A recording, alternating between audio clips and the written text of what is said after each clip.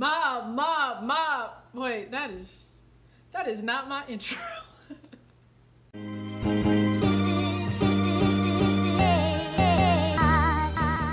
What's up, everybody? It's your girl TJ back with another video. Talks with TJ, aka TJ Two Swoosh Chains and Two Swoosh Crew. We are back for another book club series Friday video. That's right, started a brand new series to bring just a little bit of different flavor content weekly on Fridays. Just a little food for thought because I think we can all use that. It doesn't always have to be related to sneakers, okay? We all, we all, you know, we, well, a lot of us are adults, okay?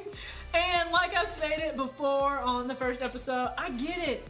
Sometimes reading is just not something we're all geek to do once we're done with school, but you know what? I'm gonna help just by going over little excerpts from books that I've read over the last year and a half, two years. And know what? You can let me know. Does it help you a little bit in life? I'm hoping it is. My goal is to try to keep these videos like five minutes. Okay, so it ain't all about a dollar because I could definitely you could throw more ads in if these videos were longer, but there's no need for them to be longer. Just quick little what what what what do we call them? Cliff notes, spark notes. You can get to the point. We know a lot of us just read them in school. We didn't read the actual. Well, y'all didn't read the actual book. I read the book. Okay, but we are still on the book, The Subtle Art of Not Giving Up. Okay, by Mark Manson.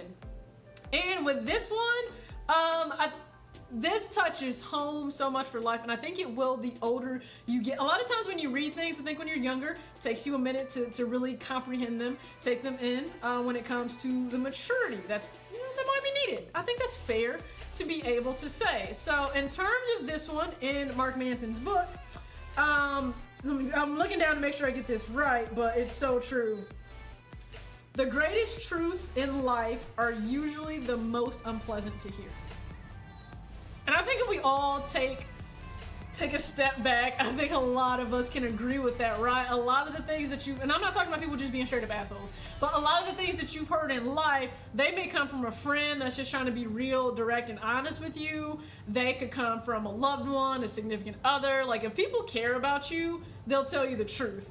That truth ain't always nice to hear.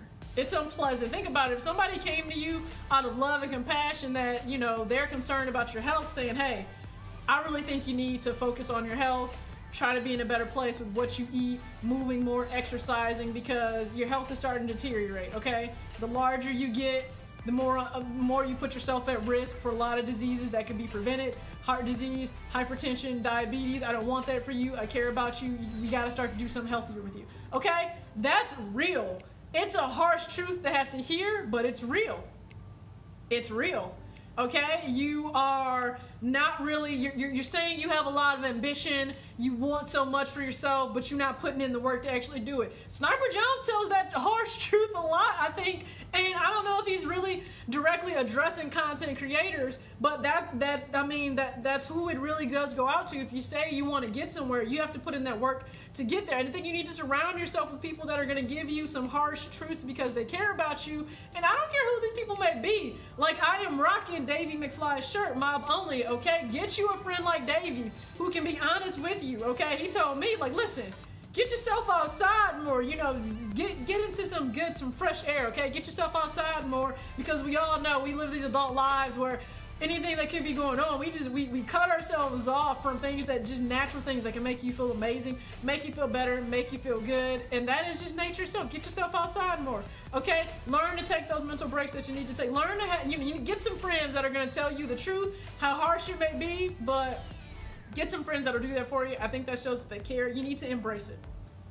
Every everything that's told to you doesn't need to placate you. It doesn't need to make you feel good. Okay, some harsh truths are going to be that just harsh. But I think if you take them in and you look back on your life and a lot of the things that people were said, you know, if it was honest with you, it was probably something you need to hear.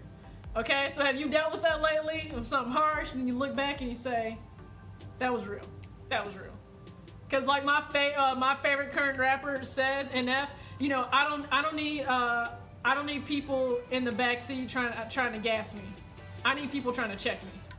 That, that's what you need. I don't need you trying to gas me. I need you just trying to check me, okay? Care enough about me? Check me. Keep it real with me, all right? So hopefully you guys enjoyed this second episode book club series with TJ on a Friday. Peace!